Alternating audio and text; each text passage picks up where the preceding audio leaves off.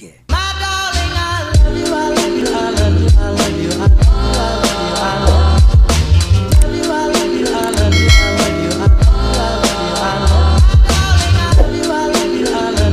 humans? And today is another day, which means another vlog, you guys. So today we are having, I'm going to change my phone into an aesthetic phone, but this is Android version using only, yes, iOS 14 launcher or launcher iOS 14 and yeah, I recommend this app because it's a good app. So mostly sa mga gumagamit ng Android is ganit na may aesthetic phone, they usually use this app, but not all.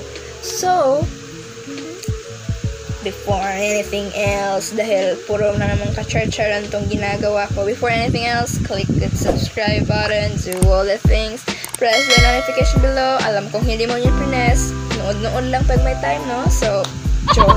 So, it's your own will if you're going to press it or not. But, come on! So, let's get on with it.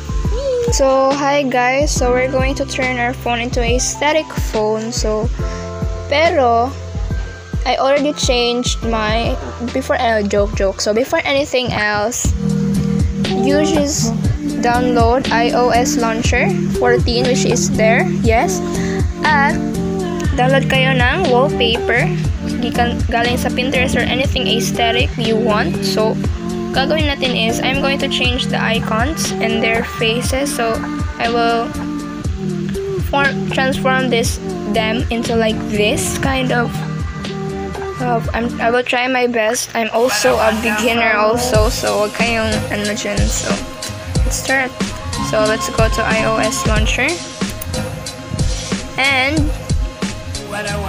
As you can see, pupunta tayo sa ating change icon which nag-change na ako sa iba dahil, oh sure, sana all nag-change sa iba. So, ngayon, maghahanap ako ng mga good pictures dito sa Pinterest para sa mga app icons ko.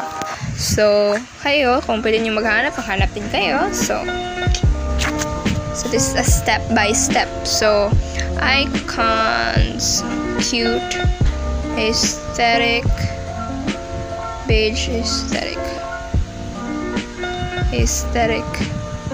I like the color beige you know. So let's download this because it's so cute. Ang cute niya guys. So ito din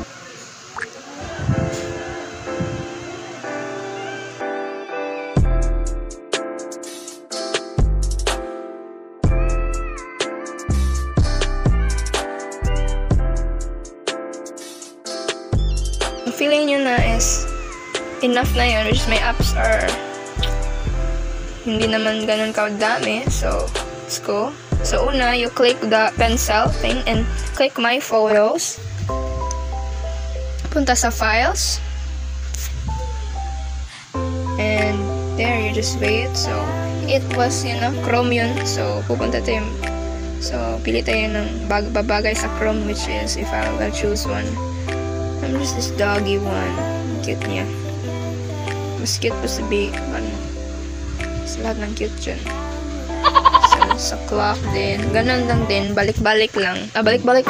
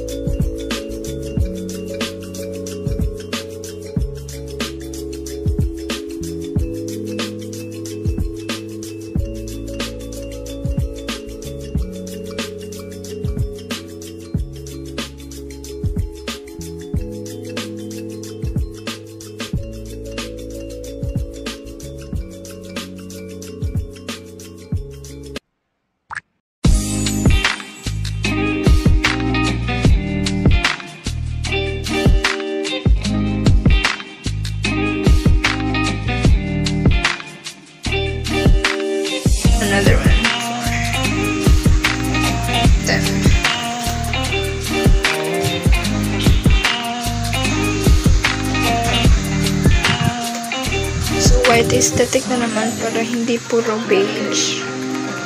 White and beige, ganun.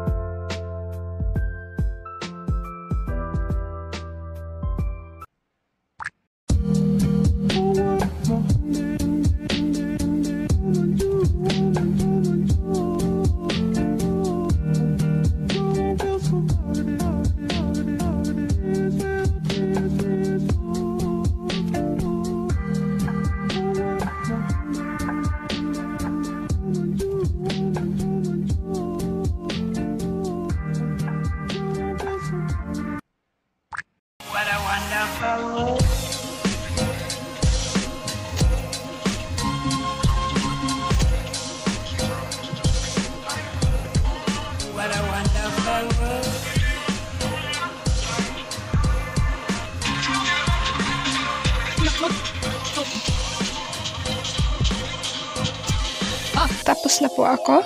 I'm going, so paano ko, so ito po yung finishing touch. So, kung magtatanong kayo kung, ba, kung paano ko na put yung mga pictures is ganito lang. I-long press mo lang yung, oh, yung space, yung free space. Ito. And, you long, i-long press lang yung, yung picture. Ganon.